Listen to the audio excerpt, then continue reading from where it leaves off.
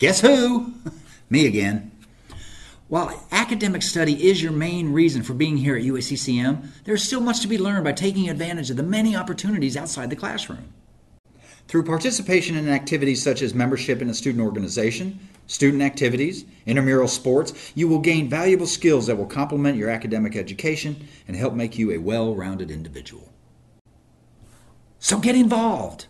Participating in student activities is a great way to help you adjust to college life and become part of the UACCM community. So visit the Student Activities Office in the Kirk Building at Union Station for more information. This is Tom McLeod signing off. Carry on!